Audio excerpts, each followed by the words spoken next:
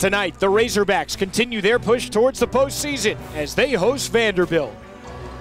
Inbound comes to the top of the key. Little fadeaway jumper from Peak, and it sits softly off the rim and falls. Peak bounces right block. Jackson turns, fires. It's off the iron and through. Arkansas's got it right side. Right wing three is up, and it swirls through for Brooks.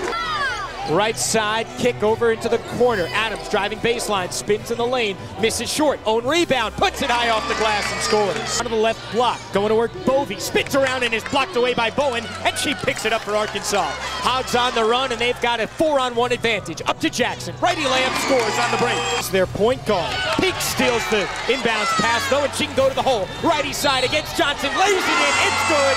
Counted in the bucket with a foul. Peak's going to get the basketball, drive around, go to the goal, right side, lays it up, it's good, and the foul!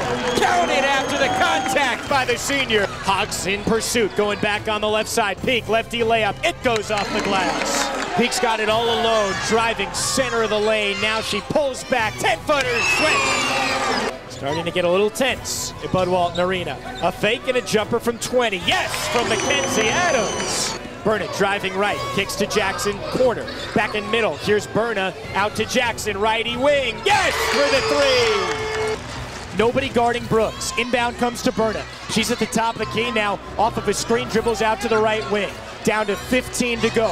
Arkansas's Burn is still with it. Finds Adams over to Jackson. Driving baseline, goes in. Layup misses strong. Rebound taps around Jackson. Out to Adams, down to eight to go. Top of the key, Adams behind the back. Little floater, misses. Rebound to Vanderbilt. Foul with 2.9 seconds left. Foggie picked it up. Arkansas had the foul. And two free throws to come for Christina Foggie. Adams is going to dribble it out, and that'll do it. Close one. Arkansas falls 56-50 to Vanderbilt. Had two opportunities in the final minute to close it out and maybe tie it up. Could have won it with a three, but the Hogs missed both and lose this one. 17 to 8.